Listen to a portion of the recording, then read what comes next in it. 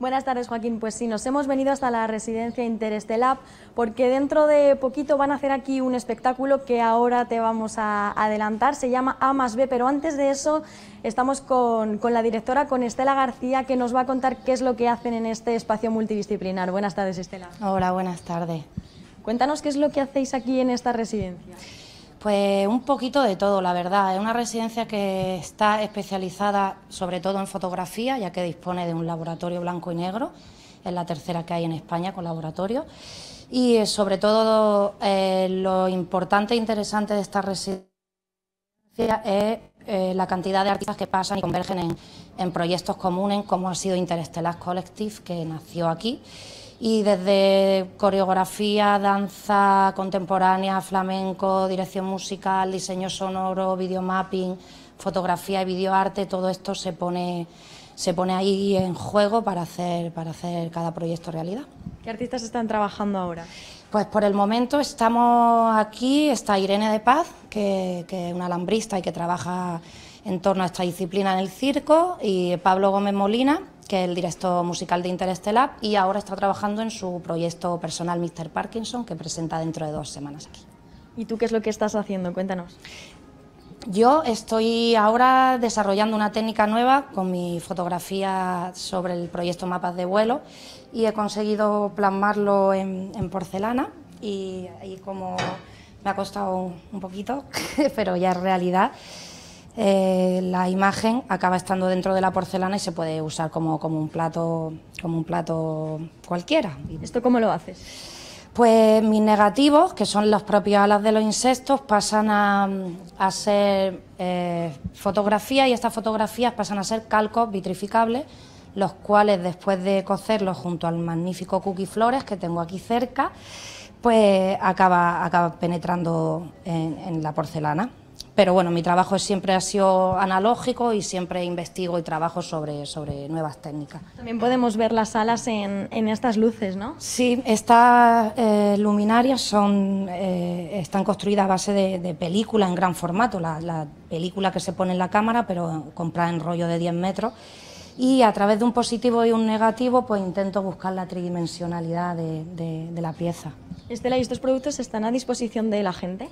Sí, y si vienen hasta mi casa están al 50% de descuento. bueno, tienes también por aquí una sala, ¿no?, en la que trabajas con fotografía.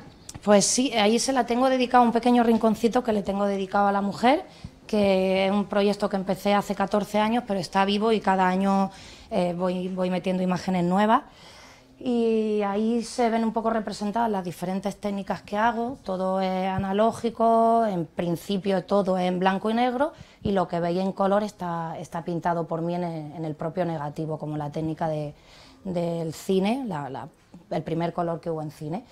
Y es un homenaje que, que, le, que le hago a la mujer. Es un proyecto que siempre está vivo y creo que y quiero que siga vivo. bueno, sois muchos artistas, trabajáis, luego lo exponéis, ¿cómo se han cambiado los planes? No han cambiado los planes pues radical porque nosotros pues tendríamos que estar de gira en Madrid, en Barcelona, en muchos sitios, en Italia.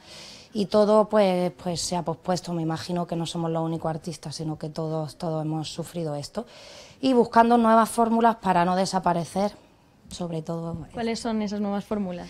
Pues por ejemplo los jueves podemos ver en nuestra terraza y espectáculos muy minimal, muy, muy concretos, pequeñitos, porque el aforo son, son 30 personas nada más, eh, guardando pues, la distancia y el protocolo, no puede ser de otra manera. Y son proyectos pequeñitos pero muy auténticos y todos lo han creado para exponerlo y presentarlo en nuestra maravillosa terraza.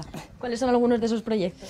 Pues mañana tenemos el proyecto de A más B que, que eh, inicia Maite Beltrán con Jessy Jacobi, que es un experimento entre flamenco, la electrónica y, y estamos muy, con muchísimas ganas de, de verlo. La semana siguiente tenemos a Melody eh, al piano con Irene de Paz en el equilibrio de las botellas, a Individes con David Tubul, eh, Pablo Gómez Molina con Mr. Parkinson y David Carrasco que viene tocando el saxo con él.